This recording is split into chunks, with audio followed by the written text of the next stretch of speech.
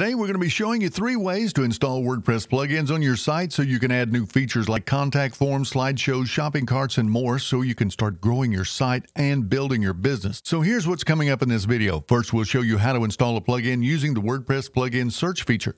Next, you'll learn how to upload them directly through your admin area. And finally, we're going to show you how to install plugins using an FTP client. Now, as a bonus, we've included resources that answer the most common questions about WordPress plugins. So stick around and be sure to check out the links that we've left in the description, hit the subscribe button and the notification bell, and be part of the conversation.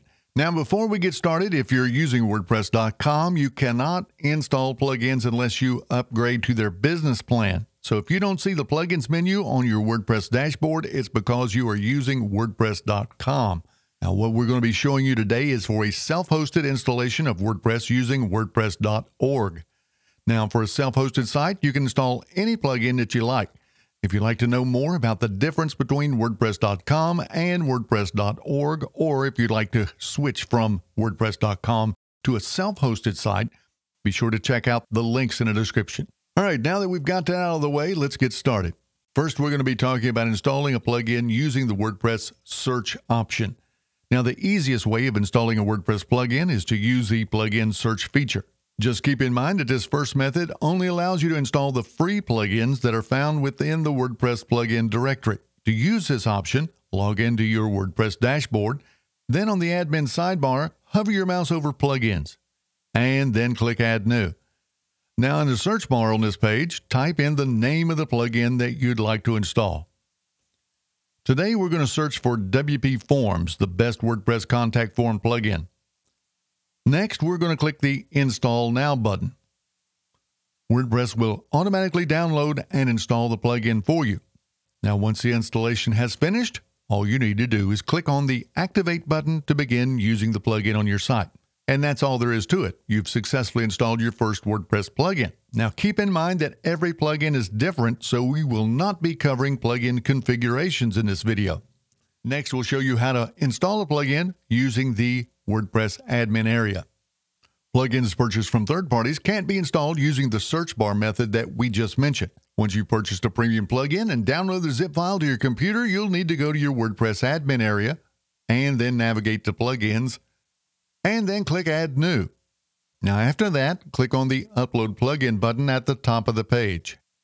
Now, you'll need to click on the Choose File button and select the plugin file that you downloaded earlier. Once you've selected a file, click on the Install Now button.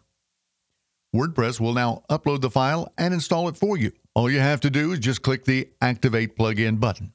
And as we mentioned earlier, since settings vary for each plugin, you'll need to configure them to suit your own needs. Now we'll talk about manually installing a WordPress plugin using an FTP client. Now, in some rare cases, your WordPress hosting provider may have file restrictions limiting your ability to install a plugin from your admin area, like the two methods that we've just covered. So, the best solution is to install the plugin manually using FTP.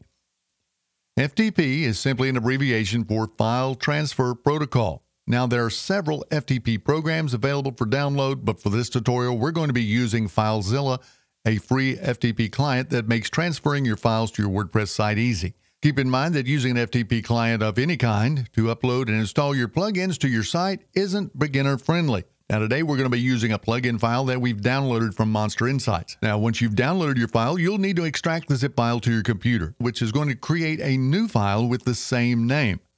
To upload the file to your site, you'll first need to open your FTP client on your computer and connect it to your website using the login credentials your web host provides. Now, once it's connected, you'll need to navigate to wp-content forward slash plugins. Then upload the folder that you've extracted from the zip file to the wp-content plugins folder on your web server.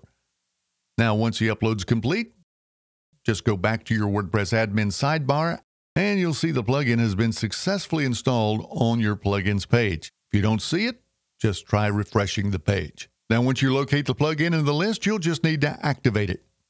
And as we've noted before, you may need to configure plugin settings. Now, as a bonus, we've left links in the description about common questions about plugins, like is there a list of essential WordPress plugins to use? And how many WordPress plugins can I install on my site? How do I choose the best plugin? What's the difference between active and inactive plugins? should I delete inactive plugins, and how to uninstall WordPress plugins.